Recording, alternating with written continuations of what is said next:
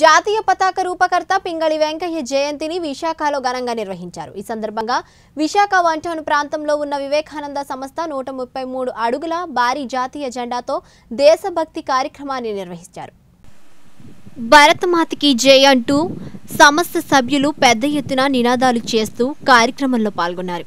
జాతిపిత మహాత్మా గాంధీ పిలుపు మేరకు భారత జాతి మొత్తం గర్వించేలా పింగళి వెంకయ్య జాతీయ పతాకాన్ని రూపొందించారని సంస్థ అధ్యక్షుడు సురాడ అప్పారావు కొనియాడారు. ఆయనకు సరైన గుర్తింపు లభించడం లేదని ఆవేదన వ్యక్తం చేశారు. పింగళి జయంతిని కేంద్రం రాష్ట్ర ప్రభుత్వాలు అధికారికంగా నిర్వహించాలని విజ్ఞప్తి చేశారు. మన రాష్ట్రంలో కొత్తగా ఏర్పడుతున్న జిల్లాల్లో ఒక జిల్లాకు పింగళి వెంకయ్య పేరు పెట్టాలని ఆయన ప్రభుత్వానికి విజ్ఞప్తి చేశారు.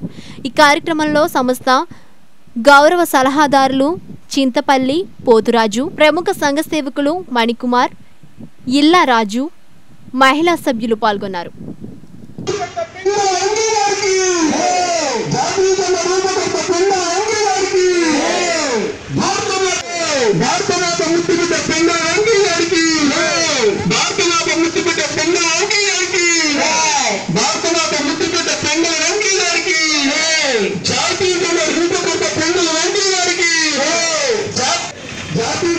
అనుకున్న వారికి